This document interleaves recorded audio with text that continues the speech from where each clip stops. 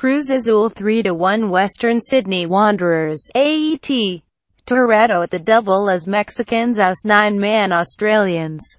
The captain cancelled out Iacopo as opener with a minute of normal time remaining and then struck again after Mariano Pavone had put Luis Fernando Tena's men ahead. Cruz Azul will play Real Madrid in the Club World Cup semi-final following their 3-1 extra-time win over nine-man Western Sydney Wanderers.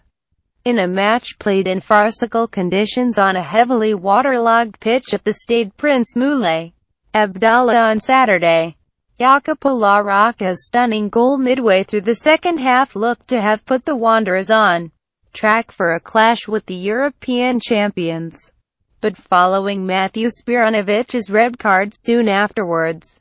A clumsy Shannon Cole challenge gave Mexican outfit Cruz Azul a penalty with just two minutes remaining, which captain Gerardo Torrado converted to send the match to extra time in Rabat.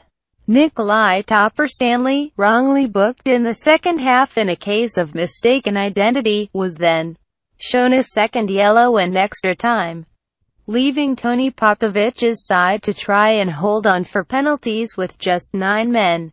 But the Asian Champions League winners could not do it as Mariano Pavone and another penalty from Torrado sealed the result for Cruz Azul. As they moved into the last four along with Oceania's Auckland City, who upset Sétif earlier in the day, after a goalless first half. The Wanderers took a 65th-minute lead via Italian midfielder La Rocca.